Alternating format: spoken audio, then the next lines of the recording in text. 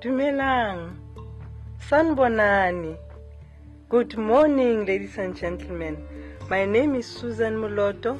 I'm from South Africa in Johannesburg and I'm working for Soweto Hospice. I'm a home care sister looking after patients at home in Soweto.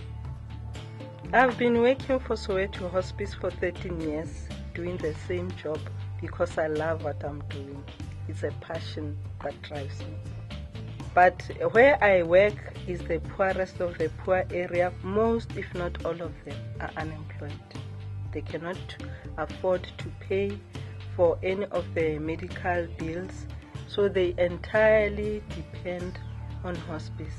They don't have food in their homes, they don't have free running water, they don't have electricity in the house, they don't have access to medication.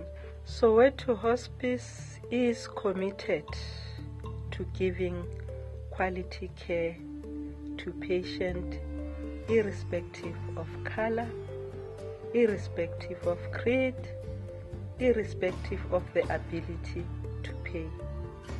We endeavor and it's our mission to make sure that our patients are always comfortable, they are free from pain, they've got dignity, they are at peace. As a home care sister, when we do our visit, we observe everyone, everybody in the family. And at times, the mother or the father passes on, leaving the little ones at home.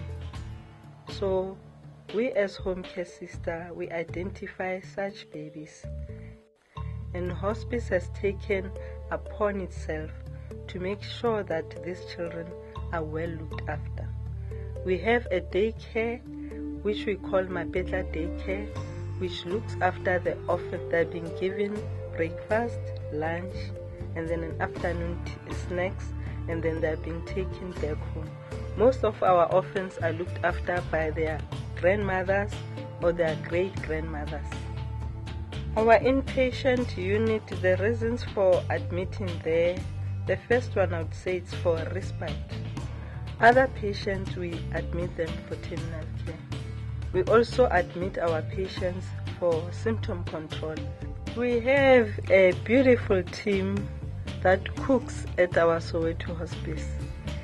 They know how to do their thing. Our adult care is just a walk-in daycare facility. Our patients uh, come in on a day-to-day basis. They are kept busy. Our pediatric unit is a very child or can I say baby friendly uh, unit. We also admit patients who were born with the HIV virus.